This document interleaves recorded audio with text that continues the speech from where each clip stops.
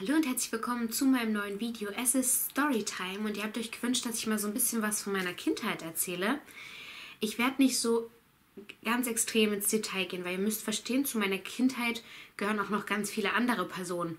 Und ich möchte auch deren Leben nicht so sehr hier im Internet erzählen. Ja, also was ich erzähle, ist meine persönliche Entscheidung. Aber was ich über andere Menschen erzähle, da muss ich halt so ein bisschen drauf achten. Deswegen werde ich manche Sachen nur anreißen, nur kurz erzählen und einfach nicht näher darauf eingehen. Ich bin leider immer noch ein bisschen erkältet. Okay, wir starten damit. Oh je. Ich habe meine ganze Kindheit und Jugend in ein und demselben Haus verbracht. Und es ist ein Mehrgenerationenhaus. Also ich habe dort zusammengelebt mit meiner Schwester, die ist vier Jahre jünger als ich, mit meiner Mama und mit meinen Großeltern, also mit den Eltern meiner Mama.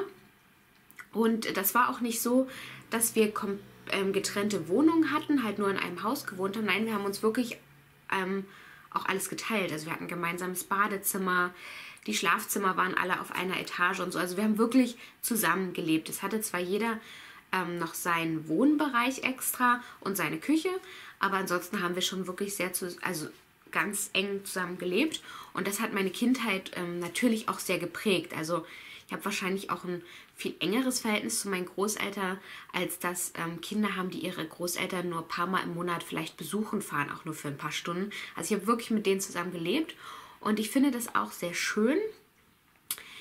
Muss aber sagen, dass das was ist, was ich für meine Kinder nicht möchte. Also ich kann jetzt nicht unbedingt sagen, dass ich irgendwie negative Erfahrungen damit gemacht habe gar nicht eigentlich. Also es war auch sehr, sehr wichtig zu, an, in einigen Punkten meines Lebens als Kind, dass sie da waren, auch so jeden Tag da waren. Aber ich möchte, dass das für meine Kinder irgendwie was Besonderes ist, was Aufregendes ist. Also Vince wünscht sich das richtig, auch mal bei seinem Opa zu übernachten. Das ist für ihn was Besonderes und das möchte ich auch so ähm, für ihn irgendwie haben, dass es was Besonderes ist, die Großeltern. Wir sehen zwar alle Großeltern sehr, sehr regelmäßig ähm, also auch die Urgroßeltern. Aber ich möchte, dass das was Besonderes ist, dass die auch mal längere Zeit dort einfach verbringen. Genau, also ich habe halt, wie gesagt, wir haben halt so zu fünft zusammengelebt. Ich hatte früher immer sehr, sehr viele Haustiere. Ich hatte Fische hatten wir mal, Katzen, Meerschweine. Die Katzen sind uns immer relativ zeitig gestorben, weil wir halt direkt an der Straße gewohnt haben. Die wurden beide überfahren. Meerschweine hatten wir gesagt zwei und ich wollte aber schon immer einen Hund haben. Und ich habe dann, ich weiß noch, in der Grundschulzeit habe ich dann eine Familienkonferenz einberufen. Ich habe da so ein Zettelchen geschrieben, das an die Klotür gehangen, ähm, mit einem Datum und einer Uhrzeit. Und da wollte ich meine Familie überzeugen, dass wir doch einen Hund haben sollten. Und es hatte leider nicht funktioniert. Wir hatten den Hund dann tatsächlich erst, als ich äh, mein Abitur gemacht habe. Und eher habe ich es echt nicht geschafft, meine Familie davon zu überzeugen, dass ein Hund eine geniale Idee wäre.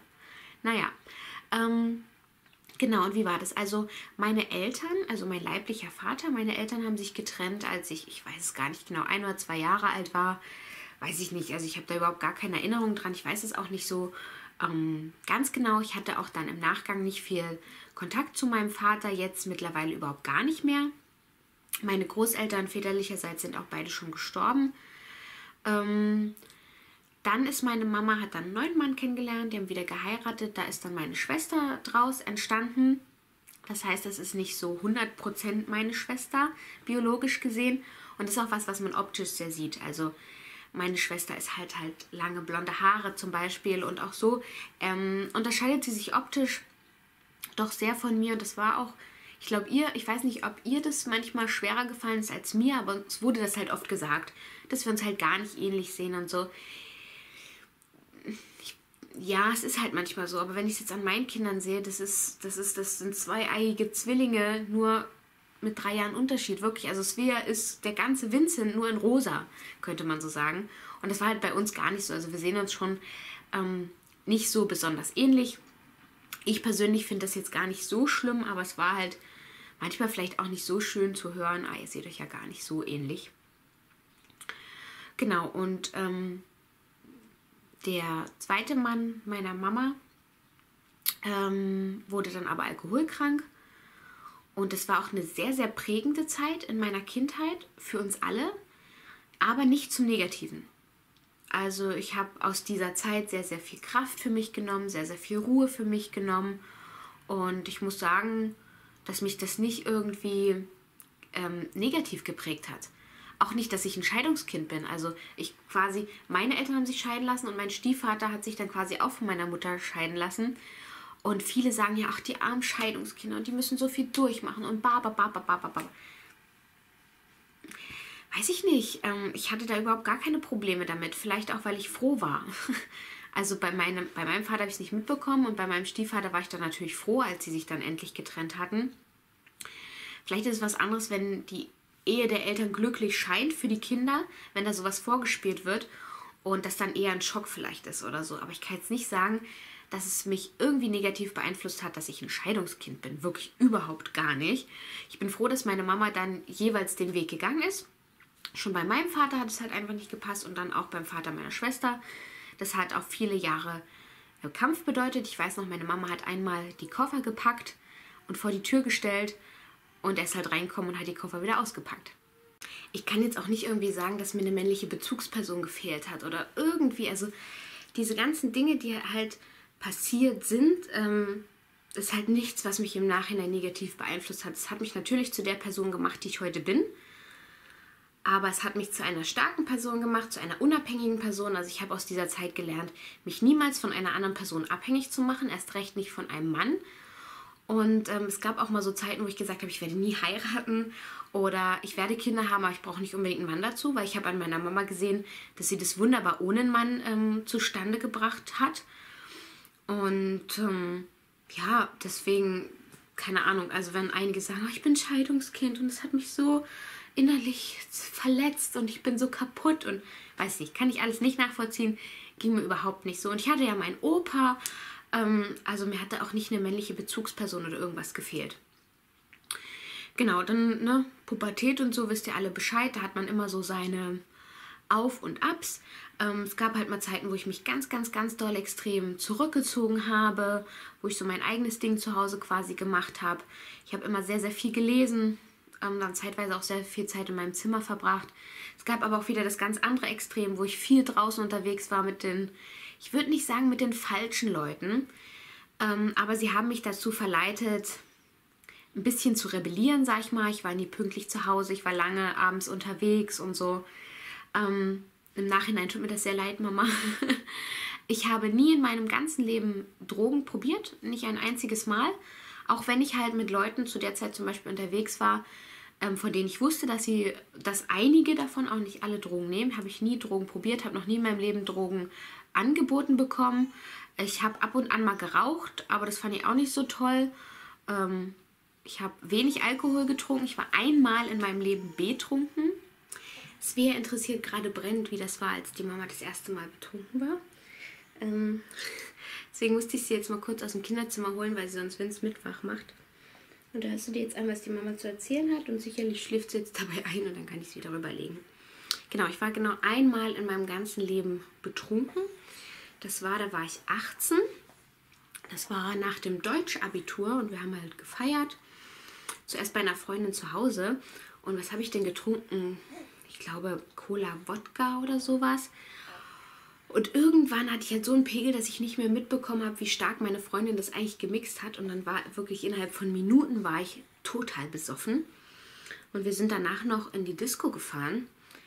Und ähm, das war echt so im Nachhinein nicht schön. Ich habe dann halt, also ich habe nichts Blödes gemacht oder so. Aber ich habe zum Beispiel erzählt, ähm, ständig, wirklich, im Minutentakt, ich möchte keinen hässlichen küssen hatte offensichtlich im Suff Angst, ähm, mit irgendjemandem da rumzuknutschen. Ich bin dann auch zu meinem Ex-Freund gegangen und habe ihm gesagt, du bist hässlich. Und da habe ich mich dann auch am Montag in der Schule dann dafür entschuldigt bei ihm.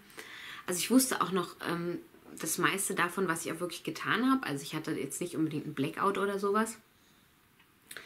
Und ähm, ich weiß noch genau, auf der Hinfahrt habe ich die binomischen Formeln aufgesagt, weil als nächstes unser Mathe-Abitur anstand. Und ähm, ich musste mich dann auch einmal, glaube ich, übergeben und den nächsten Tag ging es mir dann halt echt nicht gut. Ja, mir hat das halt überhaupt gar nicht gefallen. Ich hatte davon nichts und deswegen war das wirklich das einzige Mal in meinem Leben, dass ich betrunken war. Weil ich einfach das Gefühl nicht mochte. Ich bin jetzt auch kein großer Fan von Alkohol. Ähm, einfach weil ich meistens den Geschmack nicht mag. Also ich mag den Geschmack von Wein nicht, von Sekt nicht, von meisten Schnapssachen nicht. Also wenn, dann trinke ich mal einen Cocktail, aber meistens dann auch eher lieber einen alkoholfreien oder einen Portwein. Also was ich hier zu Hause zum Genuss mal trinke, ist ein Portwein. Oder im Sommer mal ein Radler, aber das war es dann eigentlich auch echt schon. Ähm, ja, was gibt es sonst noch zu erzählen? Also ich, ich bin auch jemand, der sehr unspektakulär war. Also ich habe jetzt nie irgendwie irgendwelche extrem dummen Sachen oder sowas gemacht, wie gesagt. Ähm, ich hatte verschiedene Phasen natürlich, was die Klamotten anbelangte. Also es gab mal eine Phase, habe ich fast nur schwarz getragen. Es hat aber nichts damit zu tun, dass ich irgendwie Gothic war. Es gab mal eine Phase, habe ich ganz viel rosa getragen. Ähm, ich hatte natürlich meine Punk-Phase.